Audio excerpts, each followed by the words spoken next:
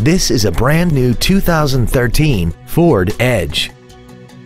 This crossover has an automatic transmission, a 3.5-liter V6, and all-wheel drive.